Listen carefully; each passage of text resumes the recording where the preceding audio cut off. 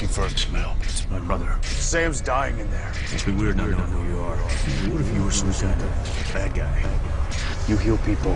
You never eat. Part of me always believed that you come back.